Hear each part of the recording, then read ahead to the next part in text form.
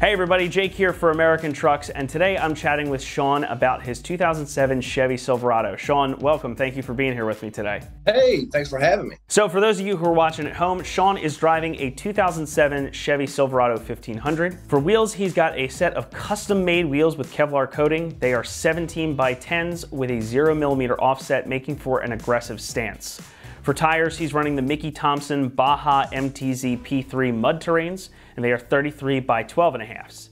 And for suspension, he's got the Rough Country 5-inch suspension lift kit with the lifted struts and premium N3 shocks, and also a rough country one and a quarter inch body lift kit. So what made you go with the setup that you have? Was there some kind of inspiration or usage case behind your build when you started out with this? Well, yeah, I mean, honestly, I like a truck that functions and I also wanted something to be a little bit different. And I had the capability uh, because I know somebody that actually has a CNC and we made a set of custom wheels and I got some uh, Scorpion coating and did some Kevlar coating on it so they actually perform, look the way I want to, and it's different from what other people have. Let's talk a little bit about the sizing. So again, these are a 17 by 10 with a zero millimeter offset, and it makes kind of an aggressive stance, so you've got a little bit of poke out from the fenders. Since you had the option to pick any size and offset of wheel that you wanted, what made you go with the 17 by 10s and the zero millimeter offset? I, I wanted to get it set to where I'd have a little bit of stance, and like you said, you know, I want a little bit of poke on it. So the reason I did that is because I set the zero, zero millimeter offset, it actually sit flush with the flares. When you get in a bigger wheel, the reason I went with the 17 inch because you'll lose performance because you're adding weight to the truck. So I wanted a little bit smaller wheel that would perform well enough with the tires that I have to where I've still got enough acceleration and I don't really notice that much of a difference, you know, actually using my truck because I, I need it functional and, you know, I do take it out and I do hit a trail every once in a while. Did you notice a big difference between the stock wheels weight wise and these new ones once you had them done?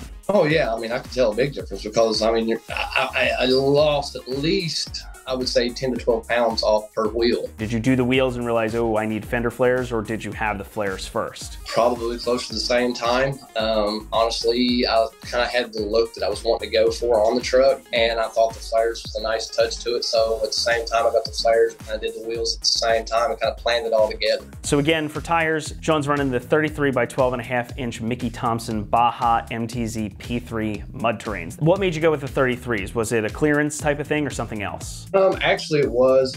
Even though you know I've got, I think like six inches the over, you know, total lift on the truck. I probably could have went with a little bit bigger tire, but for what I actually use the truck for, even with the 35, sometimes I hit a hill and I do some climbing. So 33 actually functions better for what I'm doing with the truck. Since these are mud terrain and you kind of alluded to how you use it, can you tell me a little bit more about what it is you do with this truck? Sometimes I'll be out on the farm, sometimes I'll be, you know, hitting one of the trails here, and sometimes there's some mud, sometimes there's a hill. I mean, it's, I actually went with the, you know, MTZs is because I like the side loads, because if I get in a precarious situation where if I've got a trench or something, it'll actually help me dig out of it a little bit better. You know, they clean very, very well. I'm, I'm actually amazed on how well these tires clean themselves. So, I mean, I, I can't complain about the tires whatsoever. Do you find them to be noisy or bumpy or anything? No, I mean, honestly, these ride pretty well. And when I say this, you know, Mickey Thompson claims that they, you know, ride similar to stock tires. And I'm honestly amazed that it actually, you know, what they claim and the way they handle on the street, uh, I'm, I'm really surprised they do as well as they do. You know, they're not as noisy as I thought they would be. You know, like I said, overall, as as I'm driving my truck, I don't really see that much of a difference. Once you got this stuff on, the wheels and tires specifically, did you notice the truck feeling any more sluggish since you did upsize? With the engine and the gearing that's in the truck, I didn't notice a lot of difference. And did you notice any error with the speedometer or odometer since you went up to a larger size? Um, yes, now I did notice that and I had to uh, get a programmer to adjust that that. So again, for suspension, you've got the Rough Country 5-inch suspension lift kit with the lifted struts and the premium N3 shocks plus the one and a quarter inch body lift kit. What made you go with this setup or this height of lift? Um, well, for one, I like the way the truck looked